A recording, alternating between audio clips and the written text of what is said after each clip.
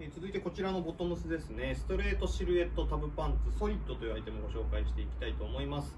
えーと、こちらのパンツは、えーと、実はですね、あのハリントンジャケットリラクシンハリントンジャケットと同じ素材を、えー、使用して展開しているアイテムで、えー、そのためですね、まあ、ソリッドっていうタイプの方、えー、段ボールニット使用したタイプと、えツイード調の素材をした、え素材を使用したタイプ2種類があります。でこちらは、えその段ボールニットを使用したソリッドの方になるんですけれども、まあ、かなり張りのある、えー上質感のある段ボールニットを使っているので、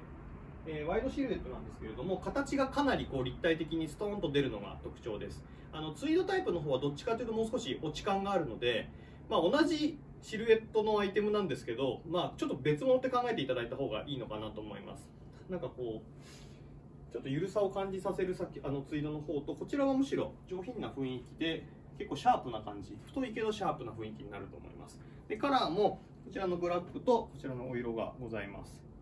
で、まあ、特徴としては、えー、アイテム名にもあるんですけれども、ここにウエストにタブがあるんですね。で今回あのソリッドの方はこのコーデュロイで切り替えているのでポイントにもなるんですけれども、まあ、ここのタブを調整することで着心地を調整できるのと、まあ、こちらのタイプにあの至ったですねあのこのタブが結構ポイントになるので例えば、えっと、タックインした時なんかもあのポイントになるかなと思いますのでその辺も楽しんでいただければと思います。でベルトループはないんですけどウエストにドローコードは仕込んでるので、まあ、ここで調整していただくような形になるかなと思います